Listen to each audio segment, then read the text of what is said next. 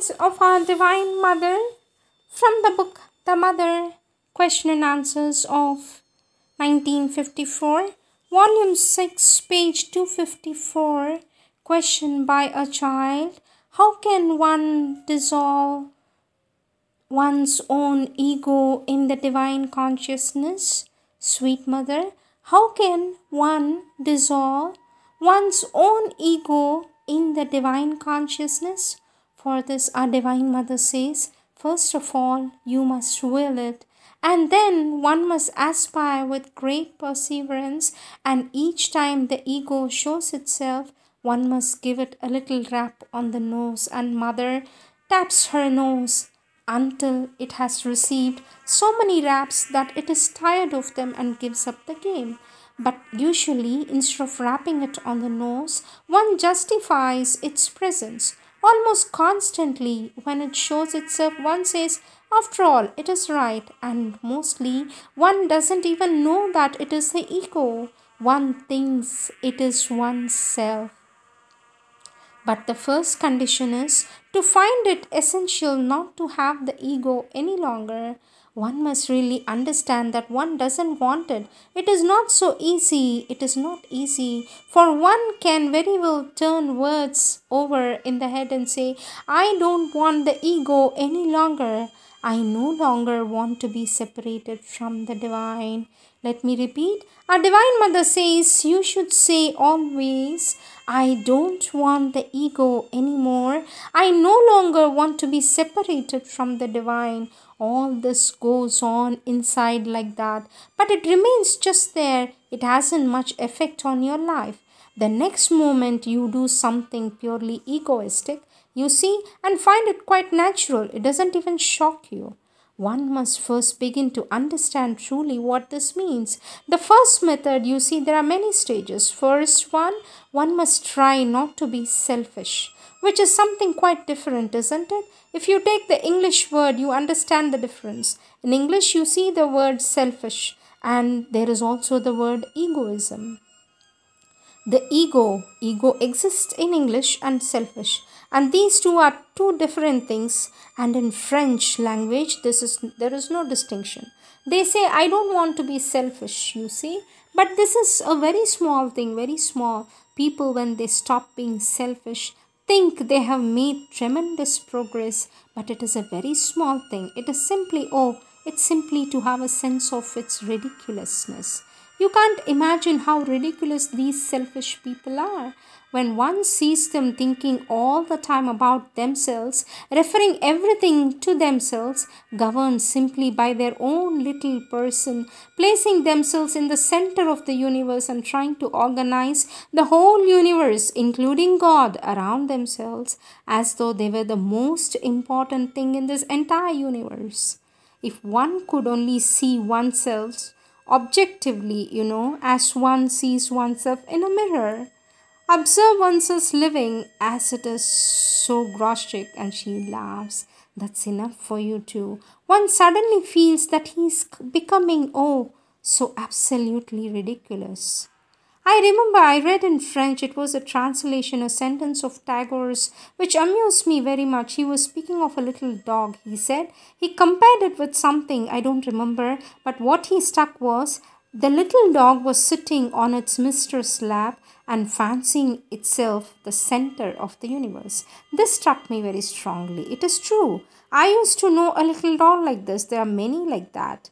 Almost all are like that, you see. They want everybody to pay attention to them, and in fact, they succeed very well because when there is a little dog, as when there is a little child, it is almost the same thing. Everyone wants them to be attended to, everyone attends to them. Haven't you noticed when there is a child of this height and mother indicates the height and comes along, everything else stops because of that people could speak, say interesting things, be busy, busy with something higher. But as soon as a child comes along, everybody begins to smile, to mimic a baby, to try and make it speak, to attend to it. One can't bring along a child without everybody fussing over it and wanting to take it to make it speak so naturally the child feels itself the center of the universe it is quite natural For a puppy, it is the same thing. For a kitten, it is the same. It is a kind of, it is a very poor deformation of a kind of need to protect something that is smaller than oneself. And then our Divine Mother says, and this is one of the forms, one of the earliest forms of unegoistic manifestation of the ego.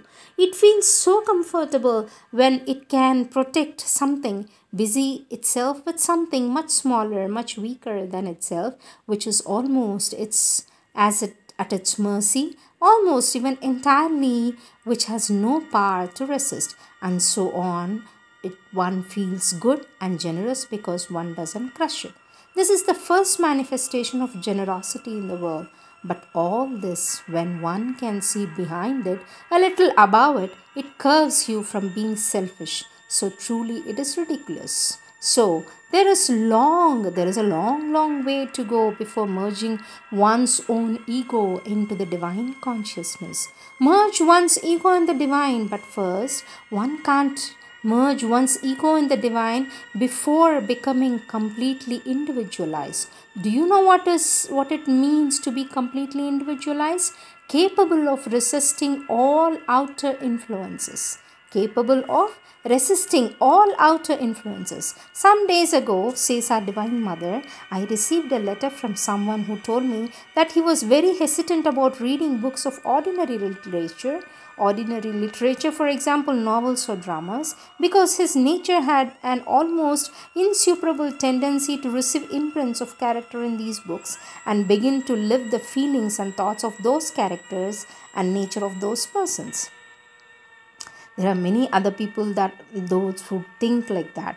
They read a book and while reading they feel within themselves all kind of emotions, thoughts, desires, intentions, ideas. They are simply just absorbed in the reading of the book.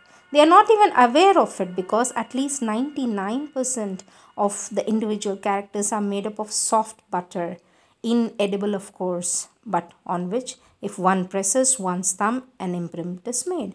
Now, everything is a thumb, an expressed thought, a sentence, an object, an observation of what someone else does, or and of neighbor's will. And all these wills, you know, when one sees them, they are all like there, like this intermingle, and mother intercrosses her fingers, each one trying to get the uppermost and causing a kind of a perpetual conflict within.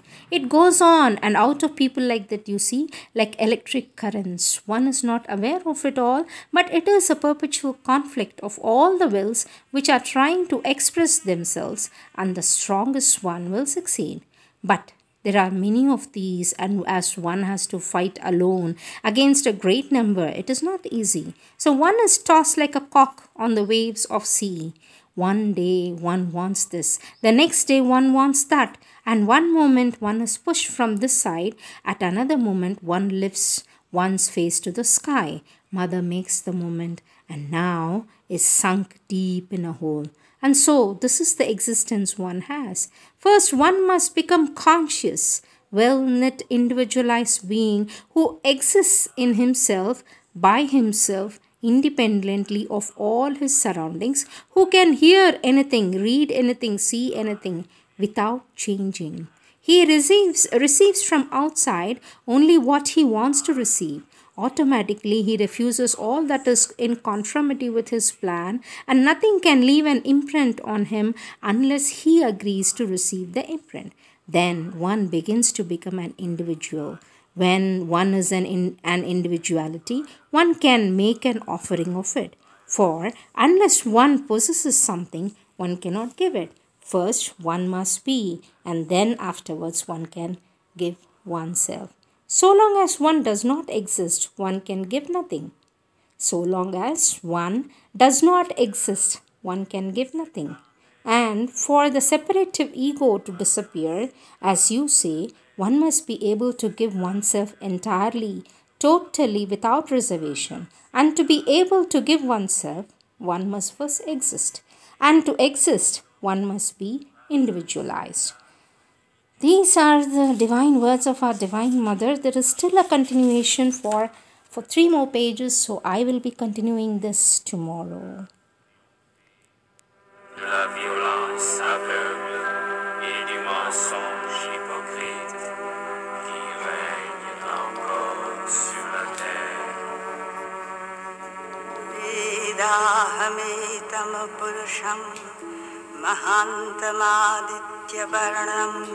तमसः परस्तात् तमेव विदित्वा